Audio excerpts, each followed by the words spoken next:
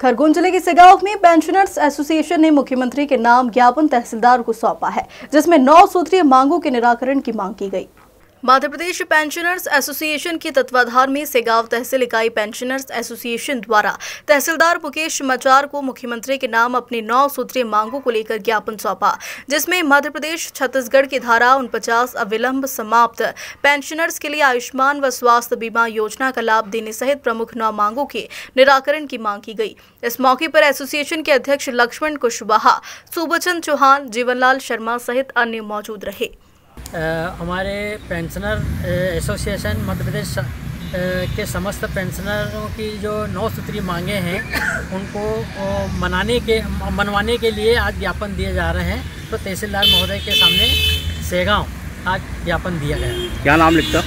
मैं सुखचंद चौहान पेंशनर्स उपाध्यक्ष सेगांव ब्लॉक। सेगांव से संजय जायसवाल की रिपोर्ट।